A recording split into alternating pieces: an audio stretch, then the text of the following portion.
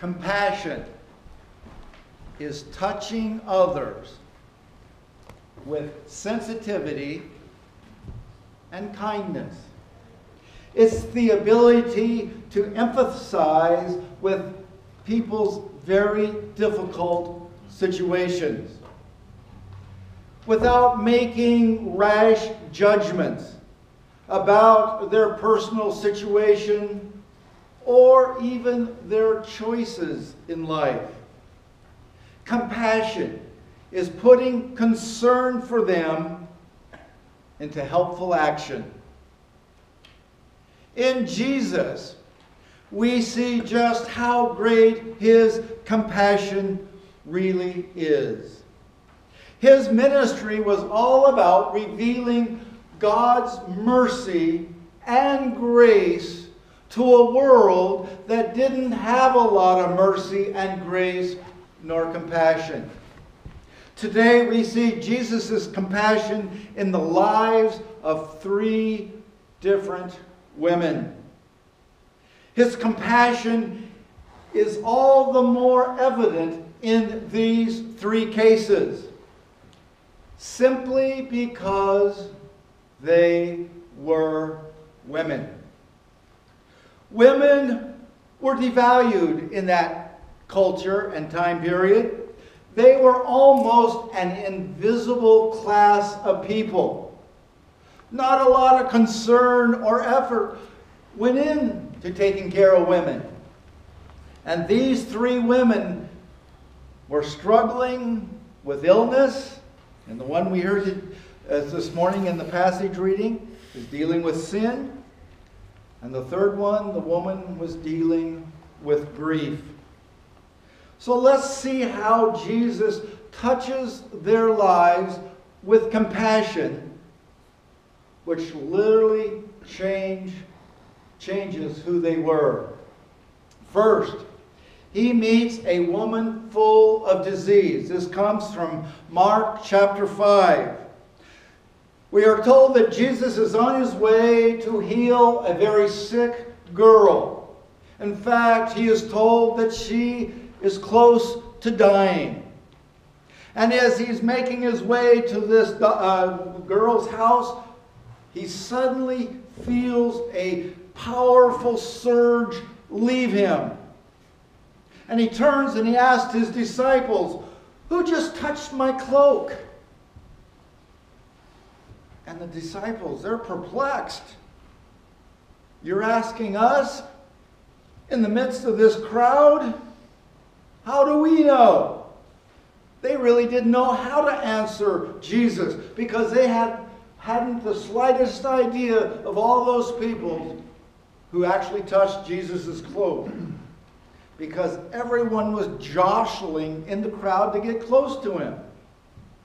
And looking around him, Jesus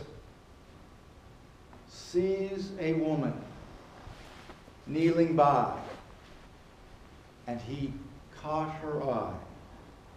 And there she is, cowering in fear. And she confesses to him that indeed it was me who touched your cloak. Now, it would be very easy for Jesus to rebuke this woman. What are you doing? You've interrupted my important and critical ministry. I am on my way to heal a dying girl. What are you doing here? But he doesn't. His heart goes out to this woman, knowing that she is in distress. And this woman tells Jesus about all her pain and anguish that she has and is experiencing in her life. She's afflicted with a medical condition of continuous bleeding. For the past 12 years, she has seen many a doctor. She has spent all her money trying to find a cure to her problem but nothing. And people's prejudice for her condition simply cast her aside. They keep her at arm's length. She is unclean. She can't participate in anything religious. She's not to be close to anyone. And when Jesus hears this and sees her, he could not let her suffer in such shame and humiliation any longer.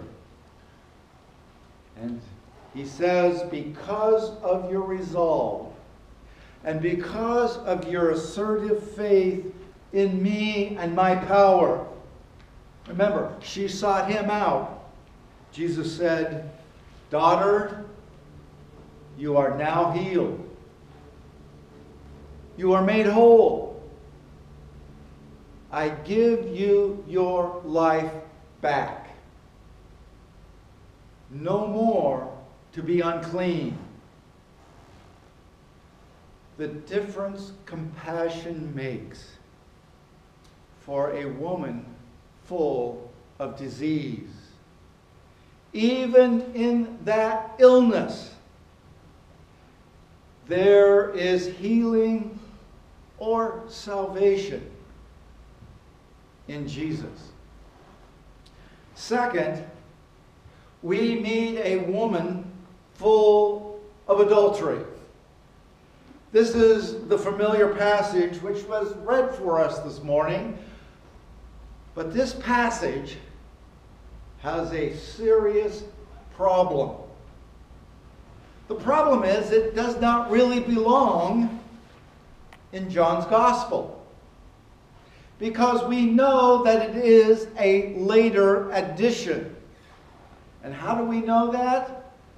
Because all the earlier manuscripts, all the early good manuscripts, they do not contain this story or this passage. And when the manuscripts later on pick up this story, it's not always found at John 8. It's found in different locations.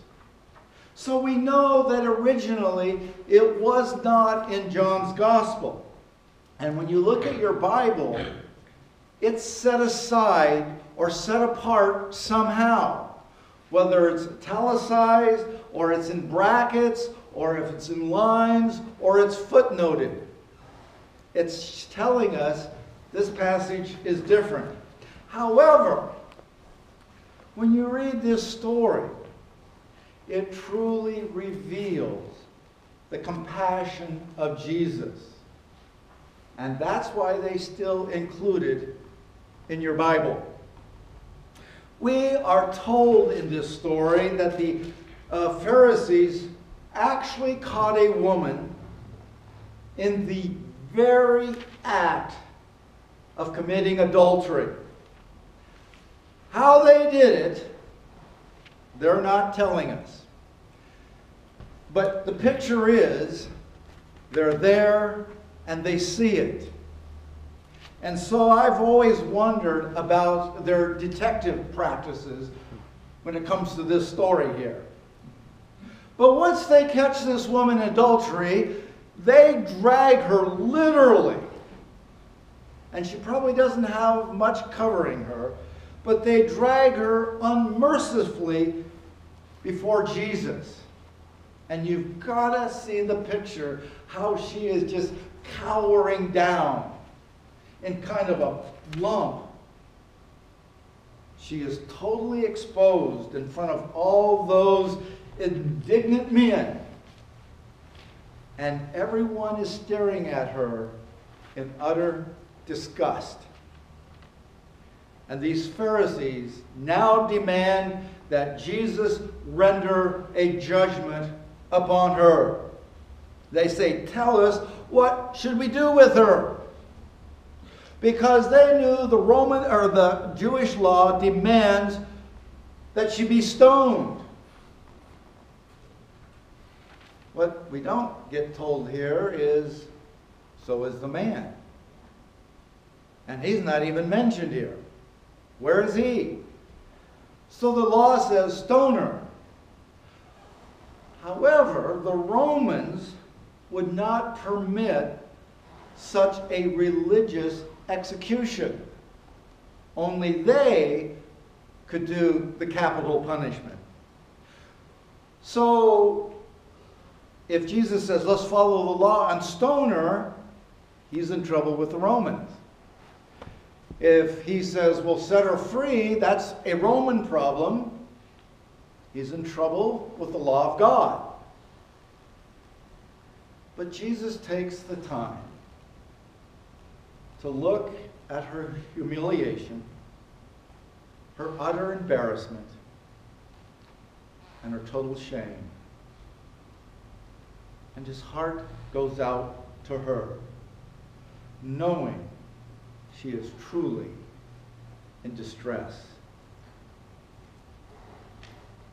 Jesus removes himself from the horns of their dilemma by simply saying, He who is without sin, you go and pick up the stone and cast it at her. And after a while, slowly these men begin to realize the magnitude of what Jesus said. And they start leaving. The older ones first, and then comes down to the youngest.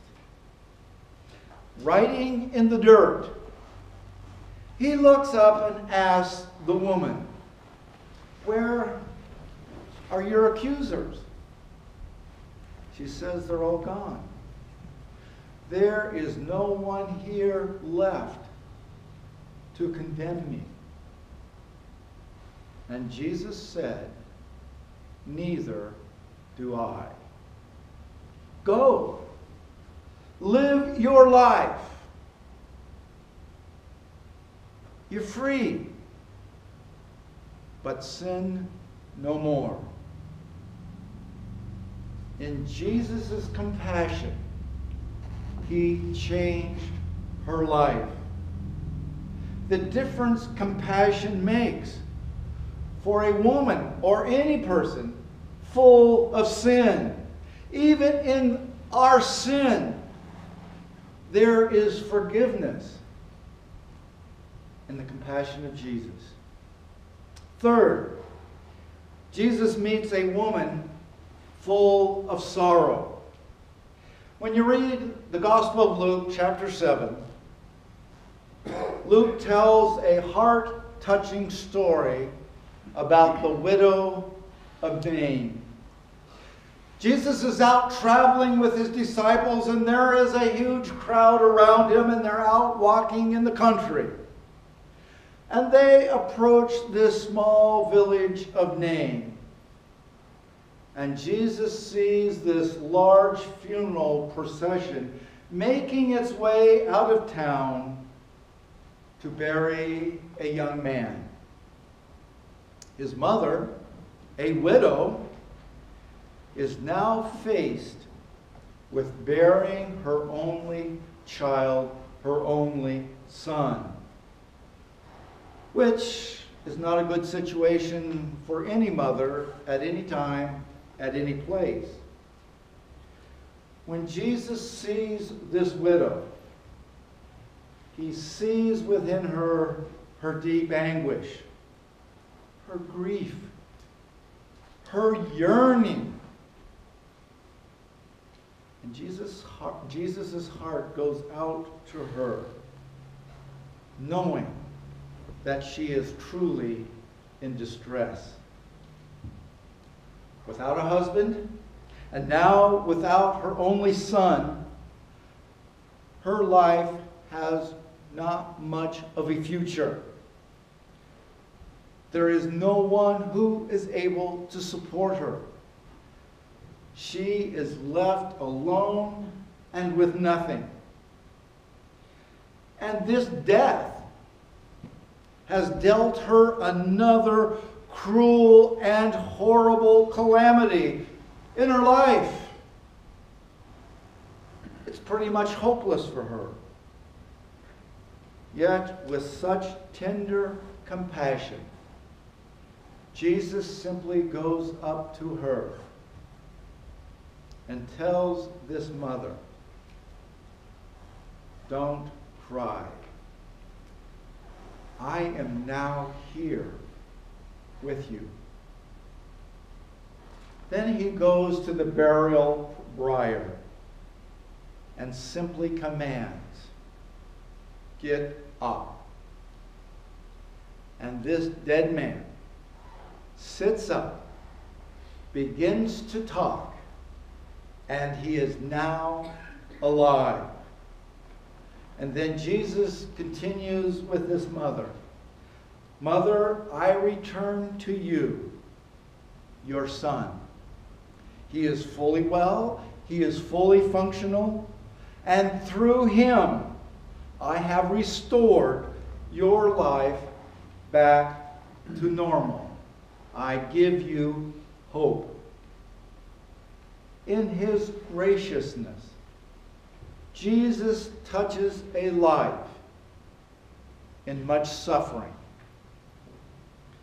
The difference compassion makes for a woman or for anyone full of grief and sorrow. Even in the midst of death, there is life and there is hope in Jesus. Lessons that we can learn from this sermon. Jesus is our example for living a redeemed life, a life of faith. As his disciples and as he is our master, one of the things that we're supposed to do is to become just like him. Paul says, It is no longer I who live, because we have died to our former self, but now it is Christ who lives within me. I am now to be like him. So if Jesus tells us to love, we love. If Jesus tells us to give, we give. If Jesus tells us to forgive, we forgive. If Jesus tells us to go that extra mile, we go another mile. If Jesus says to turn the other cheek, we are to turn the other cheek. Jesus' example for us today is to show compassion, to be kind, to be gentle, to be understanding of another person's situation.